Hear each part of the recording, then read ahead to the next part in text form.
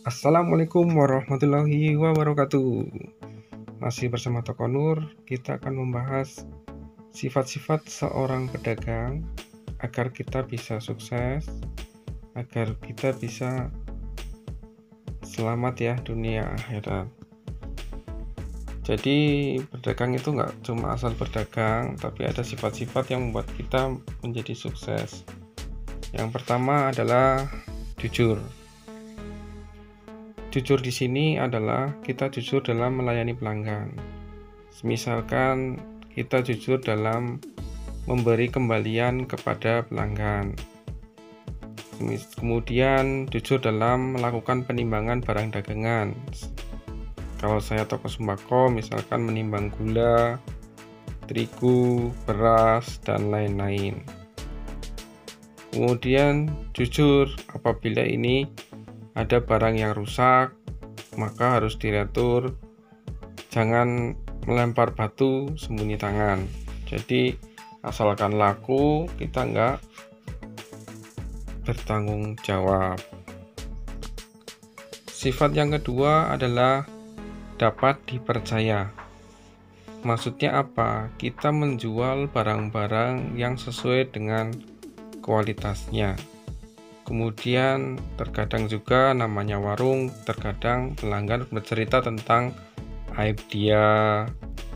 Lalu pelanggan juga ada yang hutang kepada kita.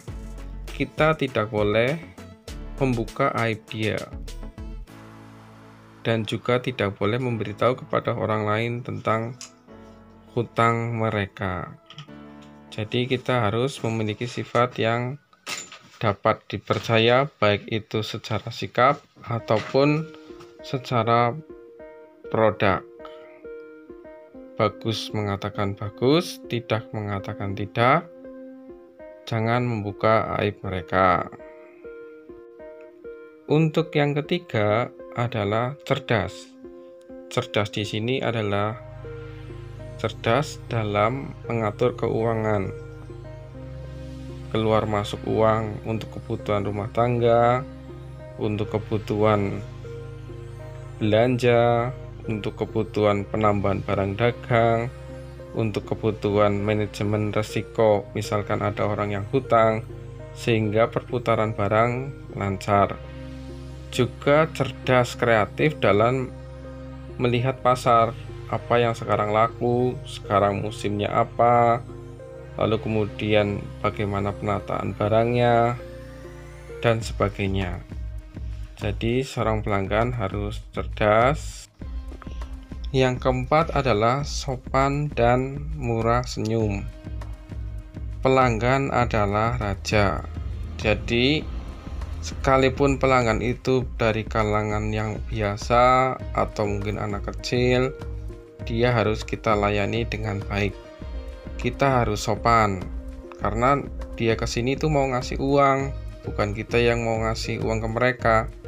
Kita harus sopan dalam melayani harus murah senyum. Terkadang ada yang datang dengan badan sehat atau badan pusing atau ada yang punya masalah. Jadi kita harus murah senyum agar mereka terhibur. Selain itu, kita juga harus sopan tanpa membeda-bedakan status sosial mereka mau si miskin, mau si kaya, mau si muda, mau si tua. Yang terakhir adalah berjiwa sosial. Jadi, kita berdagang tidak hanya mendapatkan uang dari mereka, mencari uang sebanyak-banyaknya dari mereka, tapi kita pun harus peduli sosial. Misalkan mereka pelanggan kita sedang sakit, kita jenguk mereka memiliki hajat kita bantu atau kita tengok seperti itu.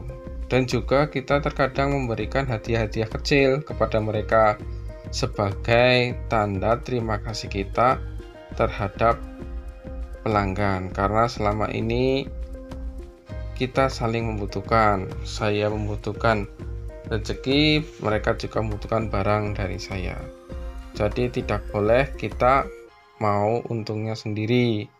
Semisalkan juga kalau misalkan pelanggan sedang usaha, usaha jualan makanan. Mereka menawarkan juga kepada kita. Paling tidak sedikit-sedikit kita beli karena akan terjadi hubungan yang harmonis dan saling menguntungkan. Tidak hanya kita aja yang selalu dibeli, tapi kita pun harus berjiwa sosial. Ada kegiatan di sekitar kita, misal kerja bakti atau mungkin dari pondok pesantren atau masjid meminta sumbangan atau kegiatan 17-an, kita pun harus berikut berpartisipasi. Tidak boleh kita bersikap individu. Demikian 5 sikap pedagang yang harus kita miliki.